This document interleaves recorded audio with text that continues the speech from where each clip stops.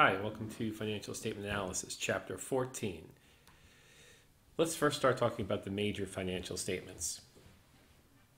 You most likely have encountered these financial statements before in a previous course. Generally, the introduction to these financial statements occur in, say, an introduction to business course and then is further uh, extrapolated in a financial accounting or accounting one type of course. So I'm assuming that you have somewhat a familiarity with these major financial statements. The first one being an income statement. Now, the income statement is sort of like a pay stub or your the portion of your paycheck that details the amount of money you're receiving. So at the very top, you get your gross income, and the bottom, you have your net income after you pay for all the expenses that get taken out of your paycheck. So the income statement is a lot like that, but for a company. So it's gonna it's gonna detail the earnings of the company, the expenses of the company, the taxes of the company to get to a net profit. Now there's an accounting earnings which the firm is was what the firm is reporting on the income statement, but the economic earnings are the real flow of cash flow a firm could pay without um, in, impairing any productive capacity. So there are two types of earnings. So accounting is one set of statements that follow a particular set of guidelines to develop net profit. But don't be confused. Net profit isn't exactly the money that's in the bank. That would be the uh, cash flow that's retained.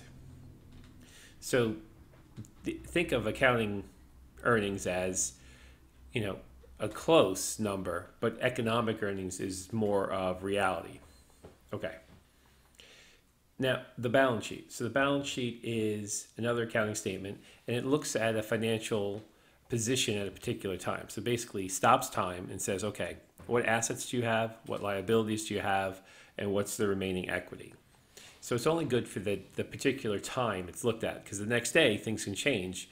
So, and in it, we call it a balance sheet because the assets need to equal the liabilities and the equity. Now, the third major financial statement would be the statement of cash flows. So, this is a statement that we've talked about uh, before, and this is going to measure the cash going in and out of the company through operations, through in investing opportunities, and through financing opportunities. So, the financial statement cash flow is going to look at you know all the cash receipts, that's the cash coming in, and all the cash payments, the cash going out, to really get an idea of how much cash is left over. So oftentimes I would describe this as, say you had a pile of cash on the table, and then a line of people who you need to pay. So as they step up to the table, you keep paying the different people, uh, and then you have a smaller and smaller pile of cash on your table. That would be the cash outflow. Maybe on the other side of the table will be a lot of people who need to pay you money that they may have borrowed from you or you sold them stuff, and that would be the cash inflows. So at the end of at the end of the day, when all the people are gone, whatever cash is left on the table is the remaining cash. Okay, so let's look at the income statement of Home Depot. So here's a very typical income statement where we have at the beginning, and this is expressed whenever they say uh, dollar sign millions, dollar sign thousands, it just means they're truncating the uh, zeros here to make it more readable.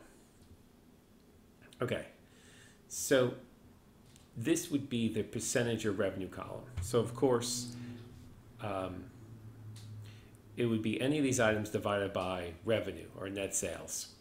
So of course, the net sales divided by net sales is going to be 100%. And remember, revenues is the same thing as sales or net sales or net revenues.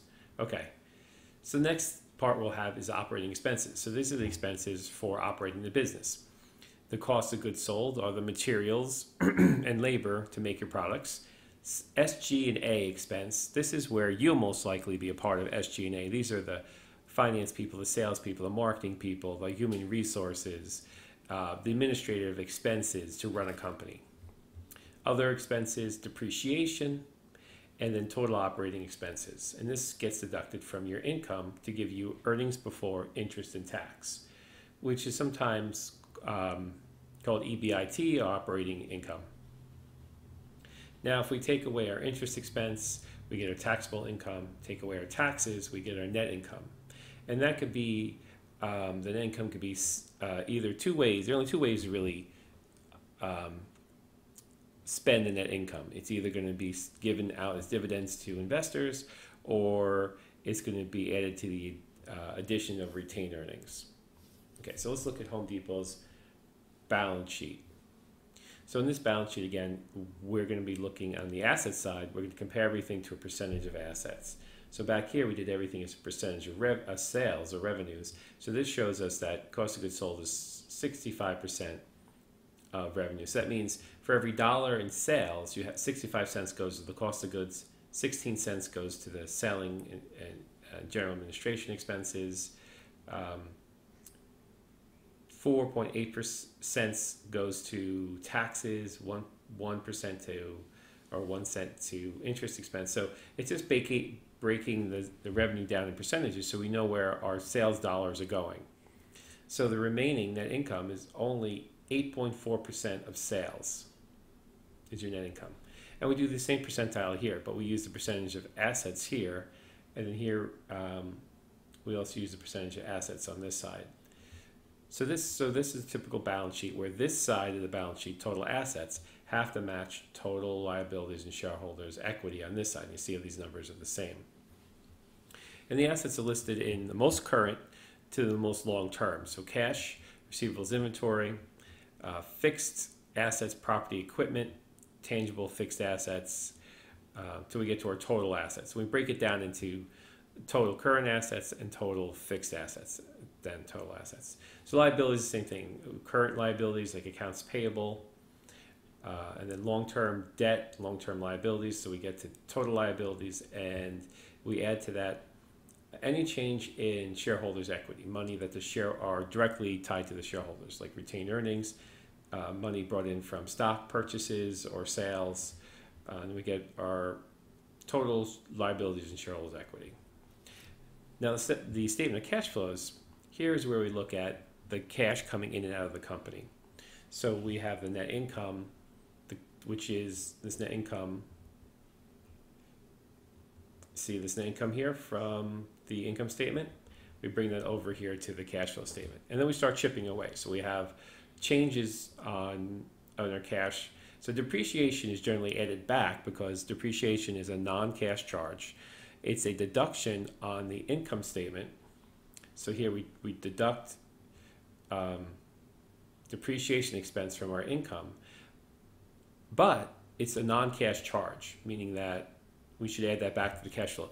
Why is it a non-cash charge? Well, because say you're driving your car around and and it's December 31st, now it's January 1st, your car is now classified in the next year and the car depreciates. Also, you may put more miles in your car, you could have a couple scratches in your car, the value of the car is going to depreciate.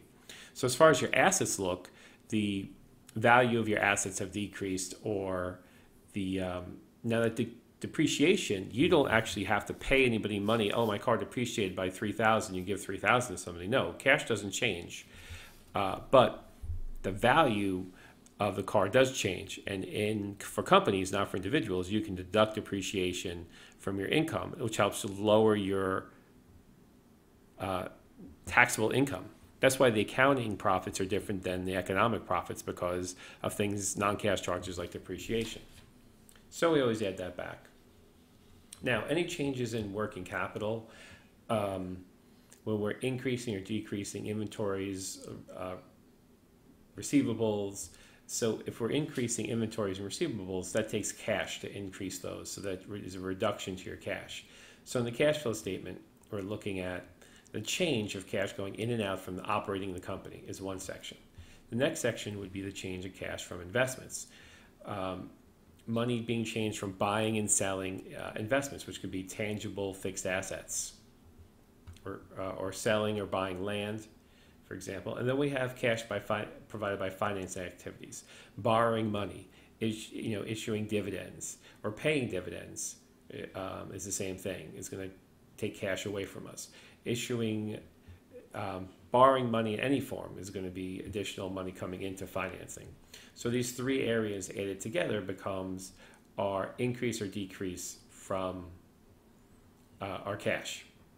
Now you see this this 330 here is the, the overall net of all this information. So it helps us to break that, that cash flow information so we have a better idea of where our cash is going.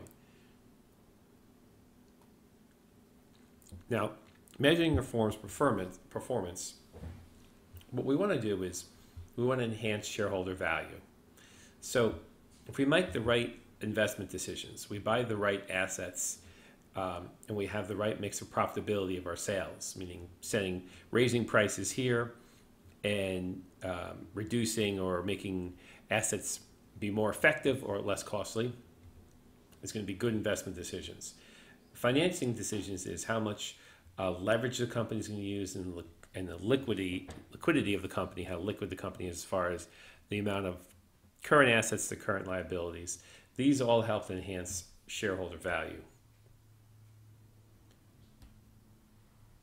So financial ratios are going to help us measure the success of these decisions.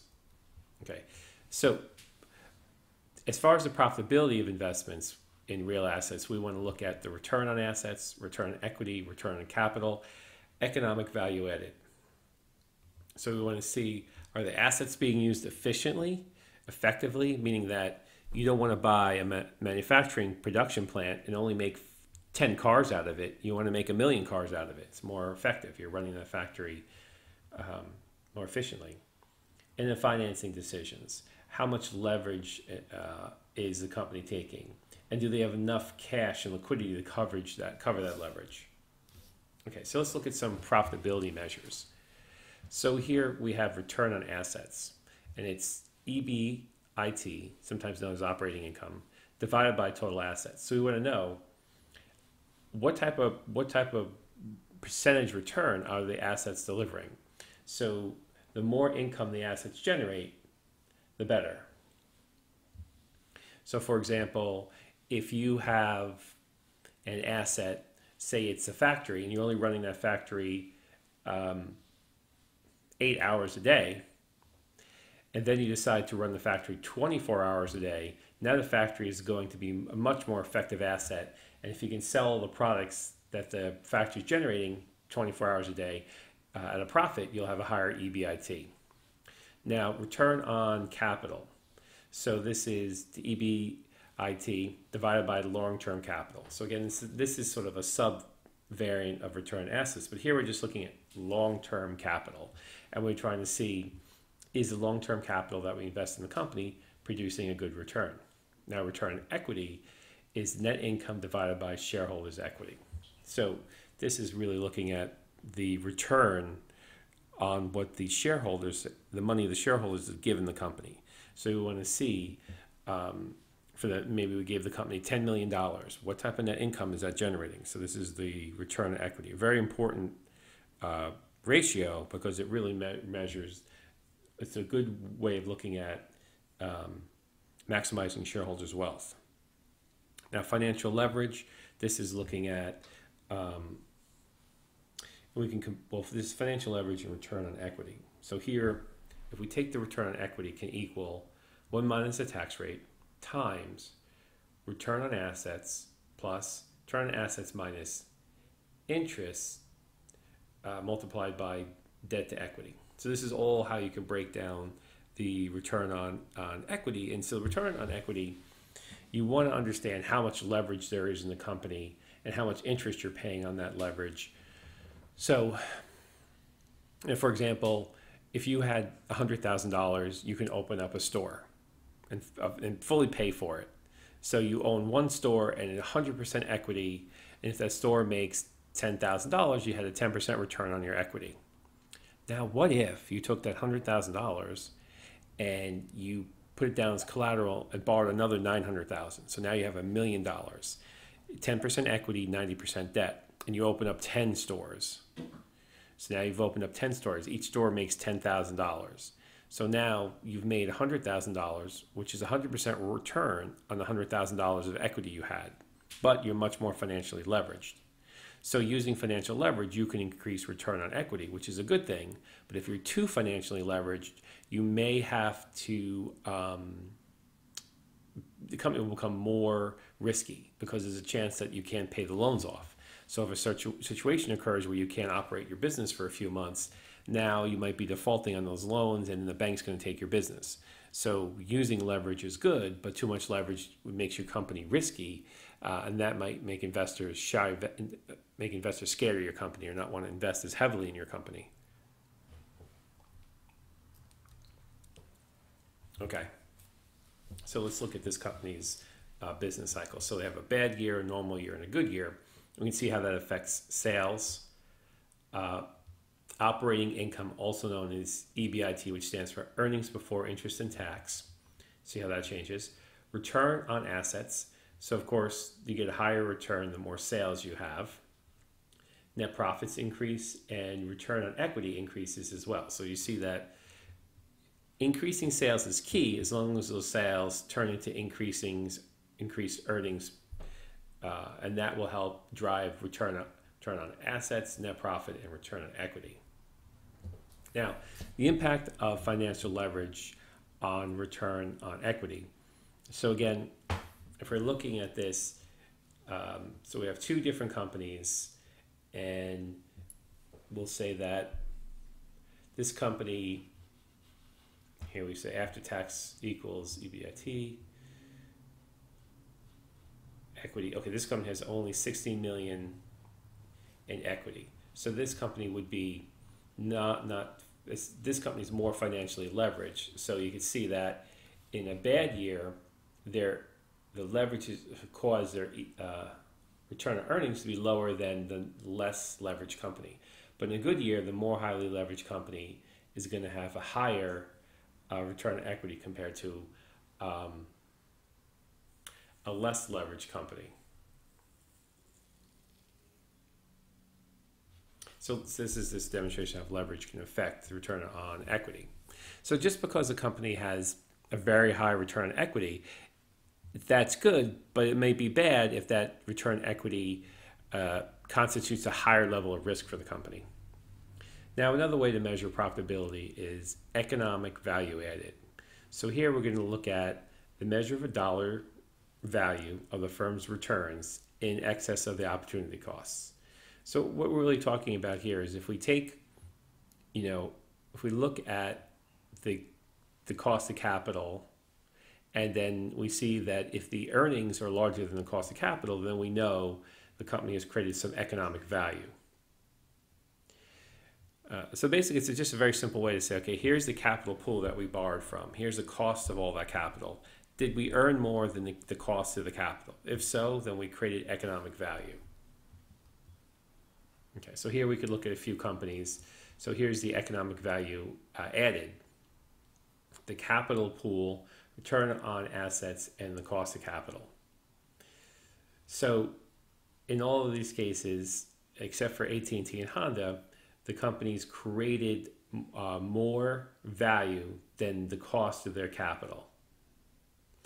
Uh, and this you can see by the return on assets shows who has the most home depot would have the most profitable assets okay so we decompose the return on equity so return on equity since there's so many factors that can go into the change in return on equity some good some less good we want to understand really where this change in equity is coming from so we could break down that formula by a series of financial ratios so return on equity, we have our net profits divided by equity.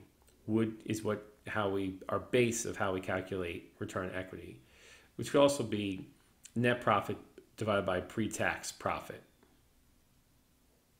times pre-tax profit divided by EBIT times EBIT divided by sales times sales divided by assets times assets divided by equity.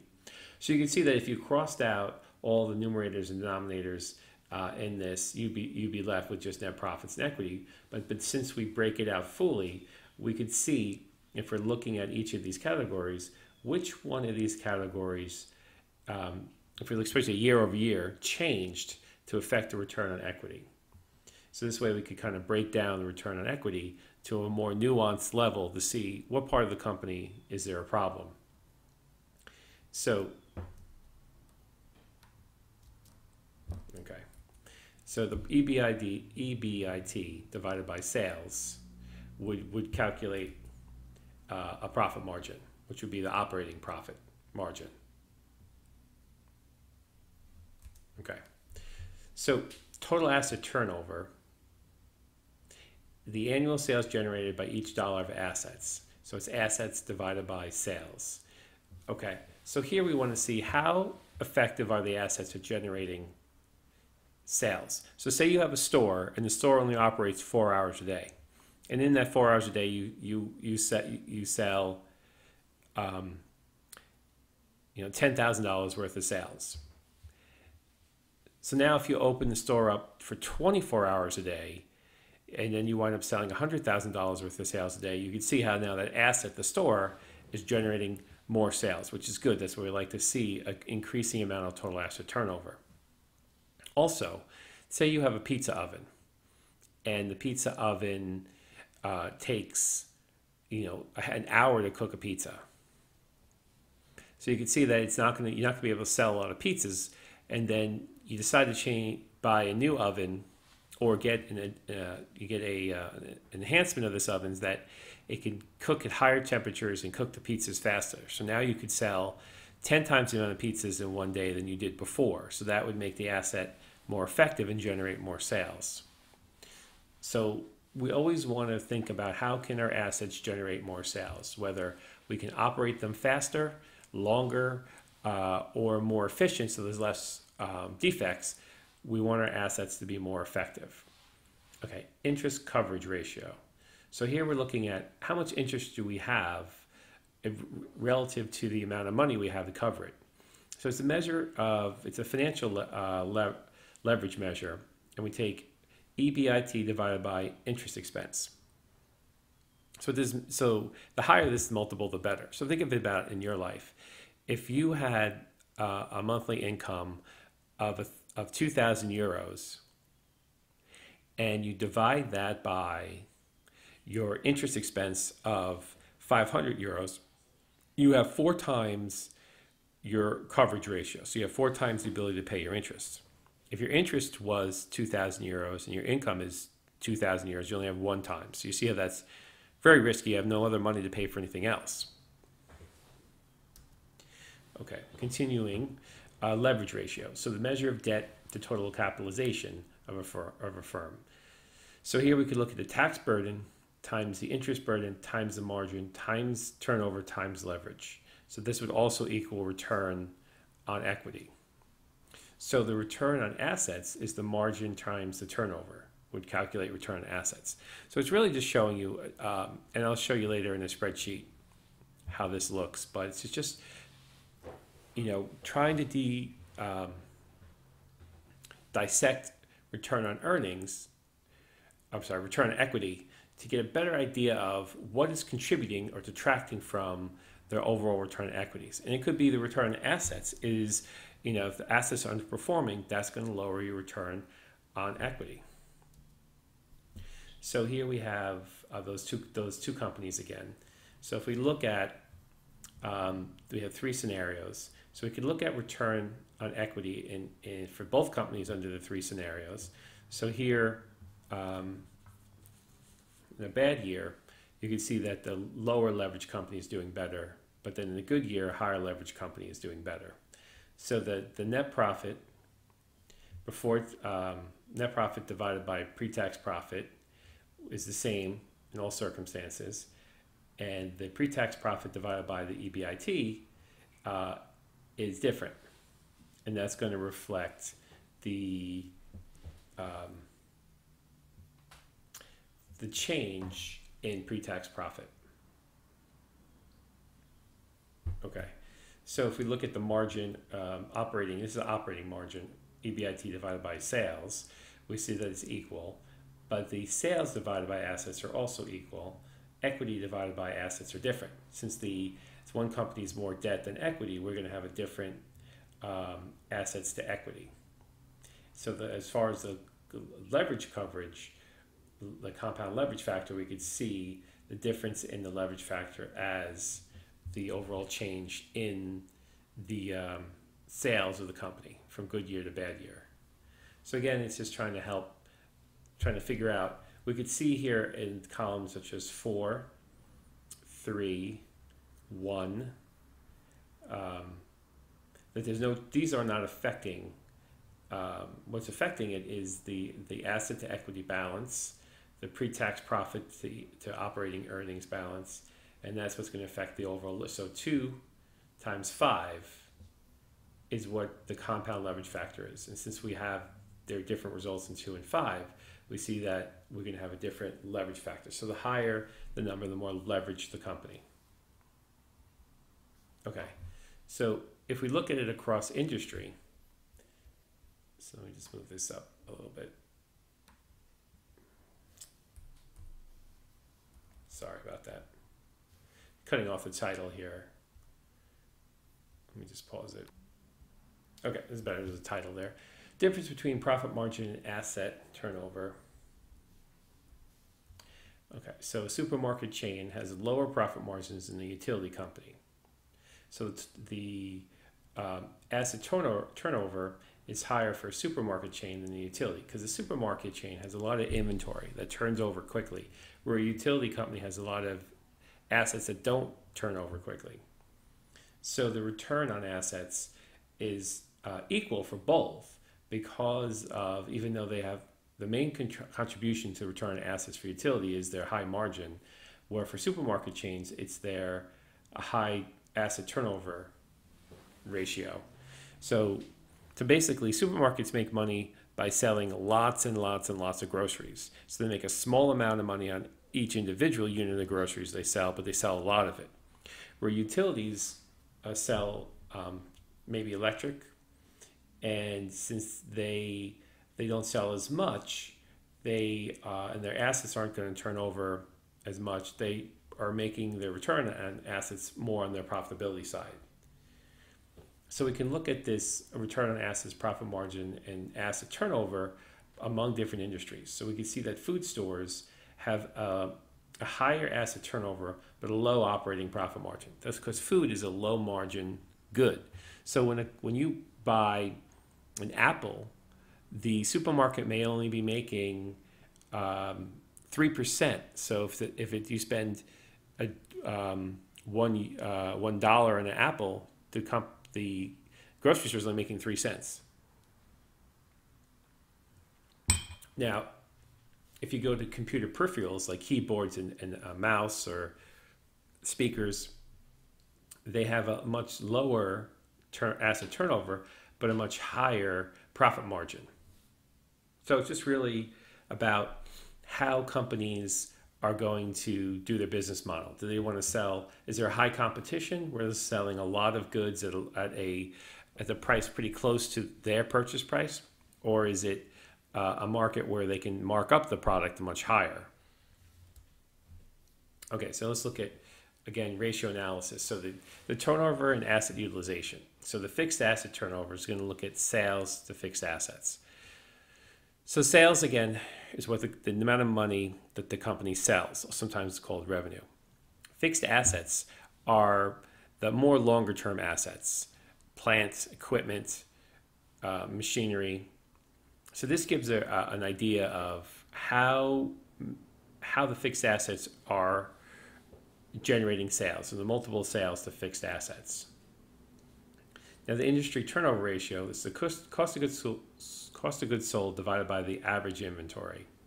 So, what we want to know here is how many turns is the inventory taking? So, think of a toy store, okay? Now, if you filled that toy store up on the first day of the month with all the toys that they're going to need for that month, and by the end of the month, the store is completely empty, and they do that every month, we'll say the inventory turned over 12 times. In another example, say a toy store buys all the toys they're going to sell for the year. So at the beginning of the year, they have all their toys. They don't make any additional purchases. At the end of the year, they're out of all their toys. That would be one turn of inventory. Now think about how ineffective it would be for a toy store to buy all the toys at the beginning of the year. Where are they going to store all those toys? They have to pay for extra storage. They have to buy all those toys and spend all that money up front. Very wasteful. And what if the toy industry changes? New toys are released or change, taste changes. Now you're stuck with selling these old toys. In your personal life, think about you say you like a particular cereal, like cornflakes, and you eat one box of cornflakes a week. So you buy 52 boxes in January 1st to represent your inventory of cornflakes for the whole year. Now you have to get a storage unit to store your extra cereal because it won't fit in your apartment, so that's an extra cost. There could be spoilage or waste or uh, pest rodents could be eating it. Uh, there could be theft. Uh, now, also, maybe halfway through the year, you just are sick of cornflakes and don't want to eat them anymore. So the rest of it goes unused and you start buying a different cereal that you like better. So you can see that's just some some examples of why this industry turnover ratio is good to look at. Sometimes called inventory turnover ratio. Average collection period. How quickly do you collect your accounts receivable uh, per dollar of daily sales? So here we're looking at, you know, the does it take you 30 days to collect your money, 60 days, uh, 120 days? So this could be a, a percentage or a, do, a day amount. So here we're really trying to figure out how efficient is your company at collecting receivables. So accounts receivables are money you lend out to customers and that you're waiting for them to pay you. And it's usually business to business that sell on credit like that. Now let's look at the liquidity ratios. So here we want to see how liquid the company is which is going to measure how safe the company is as far as lending money. Um, I'm sorry, as far as them borrowing money from a lender. So if you borrow too much money, then you're less you're going to be less liquid as a company. Um, so it's going to look at your your current assets and your current liabilities, and what's the ability to convert assets into cash in a short notice. So so the current ratio is going to look at current assets divided by current liabilities. And the higher the number here, the more effective your current ratio, your, the more liquid your, your company is, the more less risky your company is. So say you had a lot of cash, that was your current asset, and your current liabilities were, you know, say a million dollars of cash and your current liabilities were 50,000, very liquid company. Now the quick ratio is going to be a very similar method um, ratio. It's also sometimes called the acid test ratio, but the quick ratio is going to be the same measure except we're going to exclude inventory. So why would we exclude inventory? Well, because inventory is not equal between companies. So you could have a company whose inventory uh, is something readily, uh, readily sold or easily converted into cash. And you could have a company whose inventory, maybe the inventory is cars. So vehicles take a long time to sell and you can't easily convert those into cash you know, if another company's inventory was gold, that's pretty easily converted into cash. So the quick ratio says exclude the inventories to see how liquid the company is without the inventories as part of their current assets. Now the cash ratio is going to look at the uh, cash and marketable securities to current liabilities. Marketable securities is like a money market account, pretty much pretty close to cash. So again, here you know, if say you're a bank and I'm looking at you and you have $100,000 of money in the bank and you owe $1,000 of interest a month on your credit cards, I would say that your cash ratio is sufficient, pretty good. So here is a example of uh, growth industries uh, financial statement. So you can see here that, you know, if we look at their income statement, their sales are growing and their net income is growing no, actually, the income is decreasing here. So why is their net income decreasing? Well, they have a higher cost of goods sold, uh, and looks like their many of the categories, specifically operating um, interest expense, has gone up a great deal. So if we're looking at an industry here that's taking on additional borrowing, we can see that's going to affect their overall um, riskiness. All right. So let's look at market price ratios. So whenever you see the term market in finance, we mean stock market. Okay. So it says market price, we mean stock price. So just think of market as a shorthand for stock market.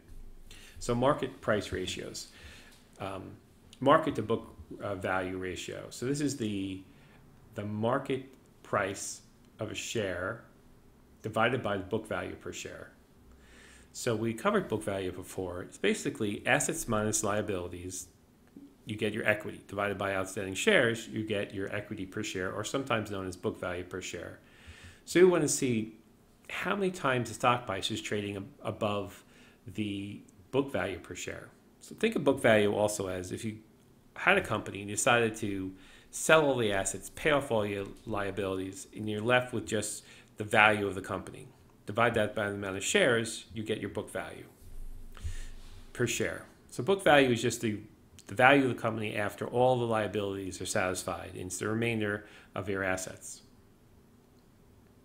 So if a company is trading at $100 per share and their book value is 10, uh, compared to a company, a dental company that has $100 per share and a book value of one, you could see that this is an indicator of, of confidence in the company if we see how many times the book value of the company is trading at.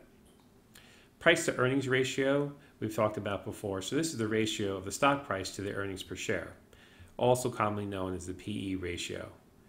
And this is, again, the multiple the stock is trading above its earnings. So if the earnings were $5 a share, the stock is trading at $50 a share, the PE would be 10, or the stock price 10 divided by earnings 5 gives you a PE of 10.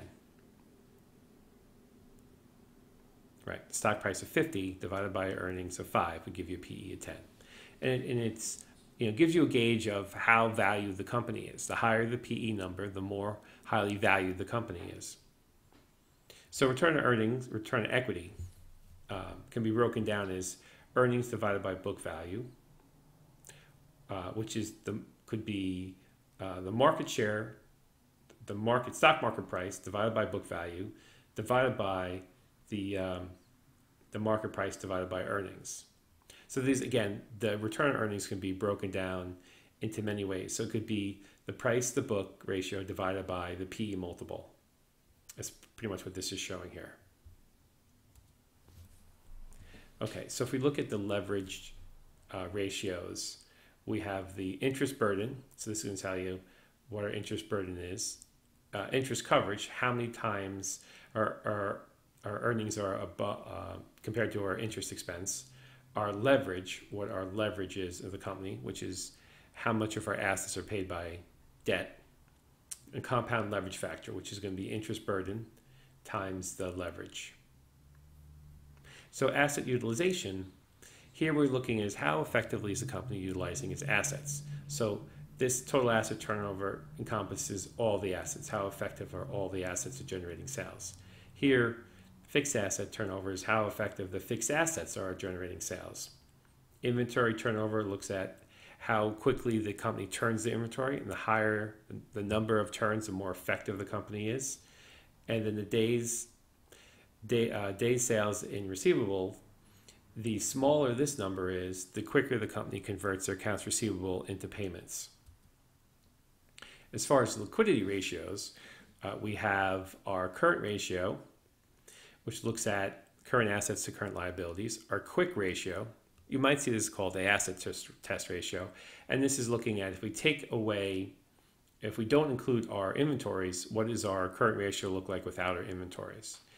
We have our cash ratio to measure the overall level of cash the company has compared to current liabilities. Okay, and the profitability measures, we have our return on assets. What, how many, how much profit do our assets generate? return on equity, how much how much return do, of profit do our, does the equity in the company generate, and then a return on sales, which is the EBID, EBIT, which is operating profits divided by sales. So this would be the operating profit margin. We had we talked about the the market to book, which is the market value compared to the book value of the company. The price of the stock compared to the earnings of the company is the PE ratio, and the earnings yield. So the earnings yield is the earnings uh, of the company divided by the price of the stock. Okay. So if we look at the DuPont composition of Home Depot, so DuPont is a methodology for reviewing financial ratios. So what it basically does is it stacks the financial ratios up uh, into different tiers to try to pinpoint which item in the income statement or balance sheet is the problem causing overall return on equity to increase or decrease. The problem would be if it made the equity decrease, return on equity. So here, if we look at the, this is the turnover rate, the return on assets. So I'm assuming this is the turnover of assets and profit margin. So we could see that as the turnover rate increases, the turns of assets, we're increasing the, the efficiency of the assets, the percentage return on assets increase, and overall profit margins increase. So this, this slide is just basically saying that for Home Depot, if they increase the utilization of their assets, return on assets and profit margins go up. So Home Depot has stores, and inside the stores they have they have inventory that they sell. So those are their assets. So if they open up the stores for longer hours or buy new stores in better locations and sell more goods more effectively at higher profit margins, they're going to have a higher return on those assets. So the better the management does at increasing the sales, maybe through advertising, maybe through better pricing, better locations, the overall more profitable the company is become over the years. So if we look at uh, major industry groups, so different companies or different industry, different companies within different industries have um, need to be measured against each other. You don't want to take grocery store companies and start looking at them compared to aerospace companies. So we want to look at companies within their industries to get a better idea of how they their results compared to the industry averages. So you can see that between different industries, they have overall for all the the, the major uh, ratios, they have different averages. Some industries, the most profitable industry would be the drug industry, and the least profitable industry here would be the motor vehicle industry. So this would just be a way of looking at how industries differ. This is not all industries. You shouldn't compare one stock and one industry industry to a different stock in a completely different industry. So let's talk about growth industries. So these are industries that uh, they have high growth in sales. They may, may require an increasing amount of assets and hopefully operating income increases at least by 20%. Um, they could have a declining return on equity as they're taking on more debt to grow the company, but return on assets are not declining because the assets are generating more and more sales because it's a growth company. So we have a rapid increase in year to year short term debt and interest expense as the company is borrowing money to fund their assets to satisfy a growing demand for their product. So, here be example some key financial ratios of the growth industry. So, we can see here that um, return on equity is, is changing as the company is changing their overall growth and growing larger. Um, and we can see how that affects you know the compound leverage and uh, different variables throughout the growth of the company. So if we look at here would be the cash flow for a growing company, we can see the change in cash flow as they're making more investments. The company uh, here net income can be shrinking as if even though the company's growing, perhaps you're spending more money as you are here uh, in buying inventories and, and interest expenses in their financing. So that's how we would want to analyze a growth company. We have to keep in special understanding the company's growing, so cost takes a lot of additional capital um, and leverage to keep that company growing. Okay, so compare comparability problems. Now, all not all companies have the same methodologies for how they value their inventory or the depreciation. So when you look at different companies within the same industry, and we might see different ratios, some of that can be impacted by their accounting and their accounting standards.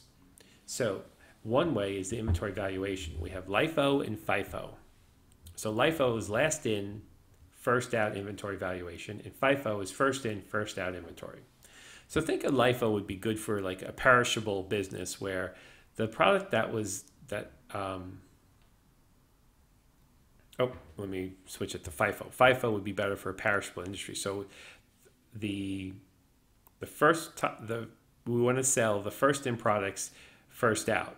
So that means if we get we had milk was the first to come in with expiration date in January, and then new milk comes in with expiration date in February the first milk that came in, we want to first push that out because we don't want that to expire. So we'd never sell the first in products at the longer expiration dates. But the last in, first out would be an inventory situation where uh, maybe it's some sort of commodity where it doesn't expire, expire.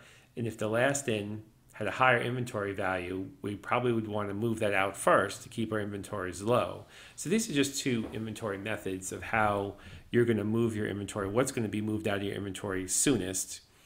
And it really depends on the type of business you have and the type of product you're selling. But if you're looking at two different if two different companies take two different approaches to their inventory valuations, holding the same exact inventory and uh, using the same amount of inventory per year, they could have vastly different values to the inventory depending on how they account for um, what's how the inventory moves. Okay.